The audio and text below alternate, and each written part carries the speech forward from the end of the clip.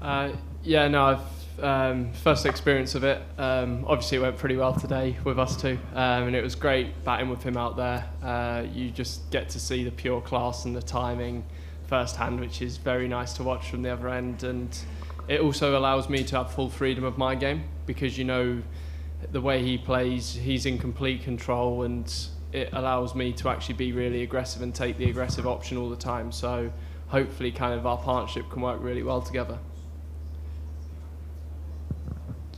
Uh, Tom, taking forward that question, uh, obviously you played with Babar as well.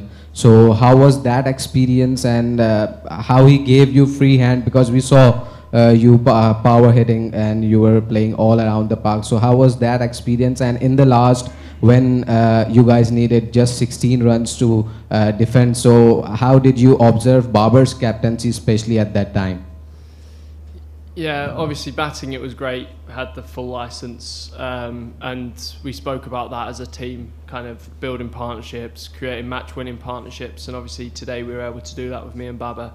Um, and then captaincy-wise, I felt we actually, besides the no balls, we stayed very calm out there, um, and I think we managed it really well to actually leave enough in the last over to actually um, get us kind of well, to be able to defend it and win the game. Um, and then even the last ball, uh, we had a conversation out there about making sure we just stayed behind the line and didn't give them an extra because although it went for six, it didn't matter because obviously we won the game um, with them needing nine. So yeah, it was it was great to play under him, and I'm sure I'm going to learn a hell of a lot over the next uh, five six weeks.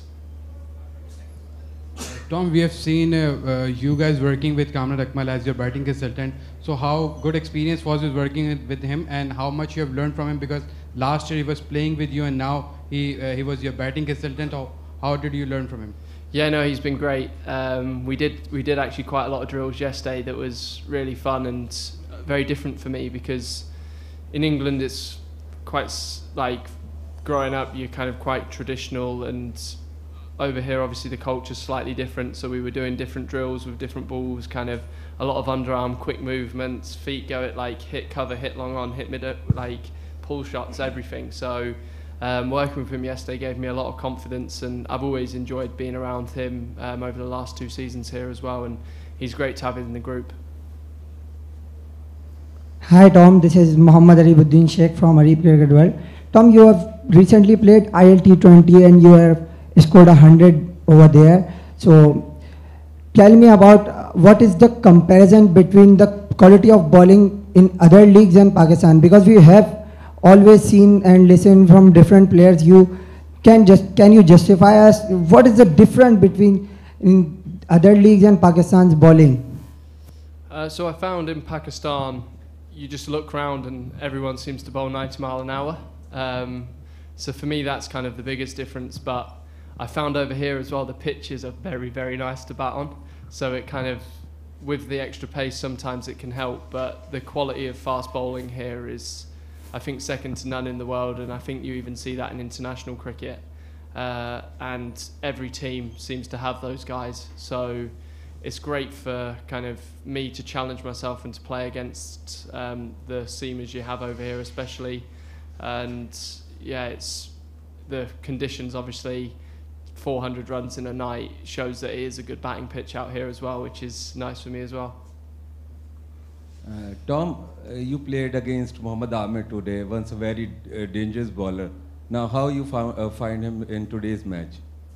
I still think he's a very dangerous bowler. Um, I've played against him quite a lot now, and I can safely say he's bowled me the best delivery of my career. Two balls in a row. I thought he wasn't.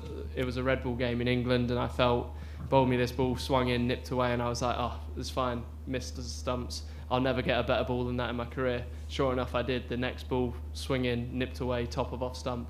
Um, but yeah, in in today's game, obviously, he bowled some very like I squirted a couple away through third man. Um, I thought Mohammad Haris come out and played him so well, and the first over, I felt we actually threw the first punch, which for us as a team was massive tonight. It gave us some momentum um, and got us off to kind of actually we are in a big fight here and it's going to be tough to beat us. And I think we showed that tonight. Um, but yeah, he's still a world class bowler and he's got all the skills and all the experience you could want. Yeah, uh, this is Zubair from Express News, Karachi. Uh, definitely, you did great job. Congratulations for that. Uh, my question, I asked the same question. I'm going to ask the same question I asked before. Uh, both sides they played very well, but uh, when we talk about the fielding, the standard of fielding was not good. So, what you have to say about that, and what do you have the plan for future? Thank you. Yeah, obviously, um, people never drop catches on purpose and it's one of those things. I think start of a tournament, a little bit of nerves, a little bit of kind of pressure. Uh, pressure does funny things in big games or at start of the tournaments as well. Everyone wants to start so well. So yeah, I felt hopefully it's just one of those nights. Um, it's something that we do focus a lot on in training. So hopefully, as the tournament goes on, we'll be improving and be able to put our rights wrong. And thankfully tonight it didn't cost us in the end. Uh, hi Tom, uh, two questions, one short, one long. Uh, obviously, uh, the dew factor, I will ask about, uh, about you about the dew factor impact. And second, sir, uh, we'll talk a lot about the players, but Peshawar Zalmi have Darren Sammy, Mohammad Akram, and now Inzamam ul Haq as their president. So three giants, of course, Akram from the first day. So how it helps the big names in the management, uh, and we've seen in the uh, Hanif Mohammad High Performance Center, you played three, four, I think, scenario games and prepared for this game.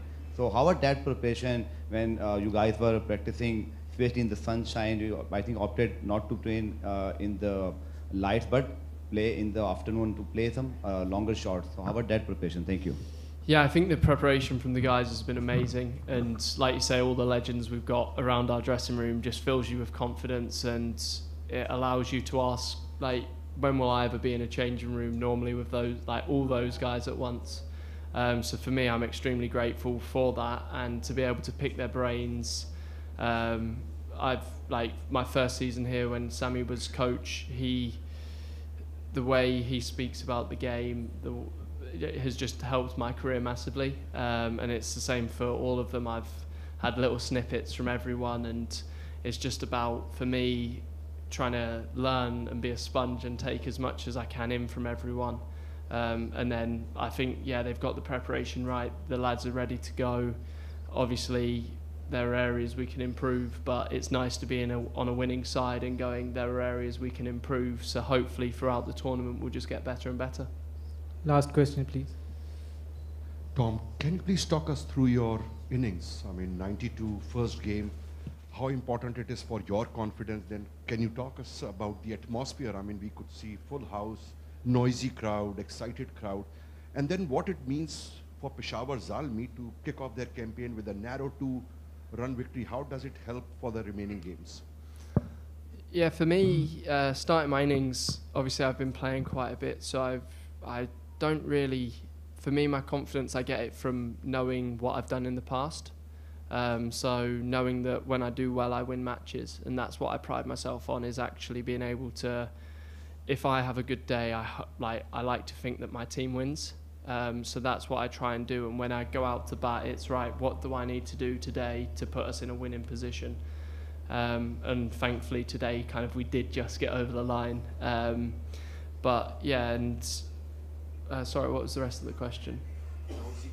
Uh, yeah, and the, for me, play, being able to play in front of a full house like tonight was absolutely amazing to experience it. I, I knew it was going to be a great night when I walked out from the uh, changing rooms uh, to warm up, and I think Babar was just walking onto the pitch, and you just heard it wasn't even full then, and you just heard the fans erupt.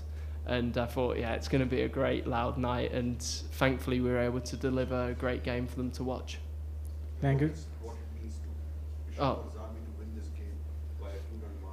Yeah, I think any win, um, especially to start the tournament in the right direction, is great. And um, I think we'd have obviously liked to have won a little bit with a couple more runs to spare, but any win's a win. And I think it will give us confidence, especially knowing that we've got more in the tank to give um, in the next game.